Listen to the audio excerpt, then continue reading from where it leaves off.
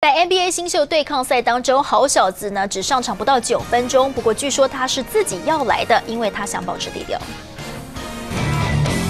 双手一抛，好小子这球从三分线弧顶，正好就在篮筐边，让 Griffin 狠狠暴扣。NBA 新秀对抗赛初体验，林书豪和灌篮王 Griffin 空中接力的精彩画面，没让球迷等太久。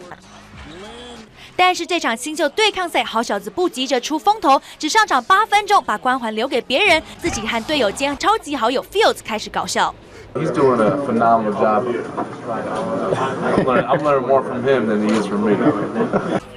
连 Fields 都笑说林书豪太红了，要他去后面当花瓶。灌篮王 Griffin 去年在全明星周末抢尽风头，成为灌篮王第一名，也以过来人的身份给了林书豪建议。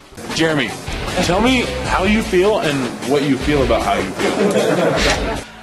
除了搞笑，Griffin 还不忘提醒林书豪要在适当的时候懂得拒绝。好小子也不忘提醒自己，永远不要忘记单纯爱打球的信念。I just like Jeremy. Um, want to make sure I make sure I don't change as a person and that I don't let any of this get to me.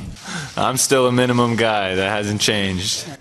不在新秀赛中过度曝光，林书豪选择少上场，谨慎处理短暂时间引起的狂热，维持一段的谦虚低调态度，也和队友打成一片，露出私底下大男孩的一面。中天新闻综合报道。